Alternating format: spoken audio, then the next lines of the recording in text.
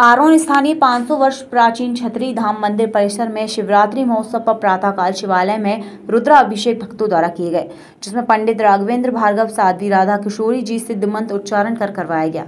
शिव भक्तों द्वारा शिवालय में पंचमंत्र रुद्राभिषेक कर बेलपत्र फल, फूल, मिठाई अर्पित किए गए। बाद में आरती कर फलहारी खिचड़ी वितरण कराई। इस अवसर पर जेबी स्ट्रेज बैंकर टैलेंट एकेडमी के संचालक, बंटी राजपूत अपने परिवार के साथ अभिषेक नगर के प्रतिष्ठित परिवार वस्तक परिवार के मुखिया बनवारी लाल सोनी भी अपने परिवार के साथ शामिल हुए।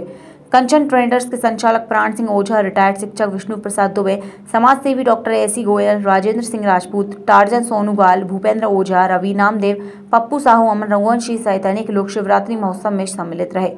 शिवरात्रि पर एक दूसरे को शुभकामनाएँ दी।